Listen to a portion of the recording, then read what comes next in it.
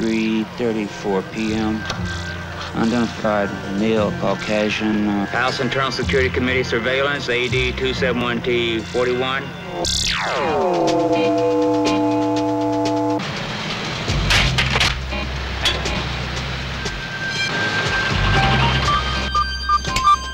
Internal Revenue Service surveillance. Pat Angelo. Case 642DZ713. Someone is listening. Someone is watching.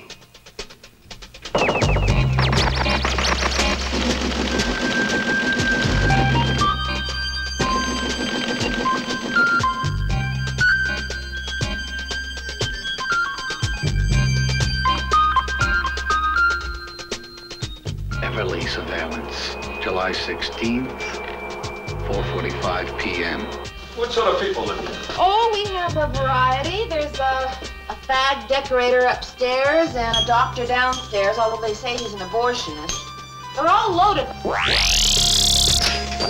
You know what I'm gonna do? I'm gonna back up a moving van and then steal the guts out of the whole place. I need you to bridge some burglar alarms, open doors, cut some telephone circuits. I got a job laid out. Need a good driver with a cool head. I want schedules of services. I want hours and names of maids, doormen, janitor. The works. Come to decorate your halls. And not a moment too soon. What do you think? I think it stinks. What are we screwing around with stuff like this?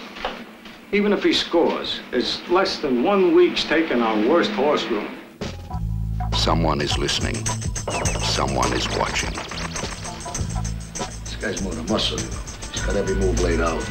It's like a military operation. You okayed the deal? We give you the money for the finance, we want 60-40. Everyone knows it's an improbable crime.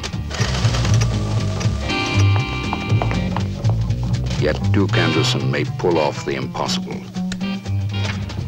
Yes? Oh, oh, what the hell is this? Mrs. Hathaway! Oh,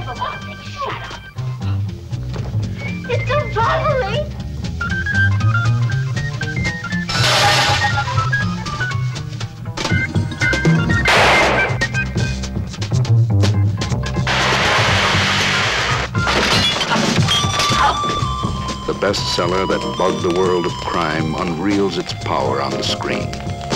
You?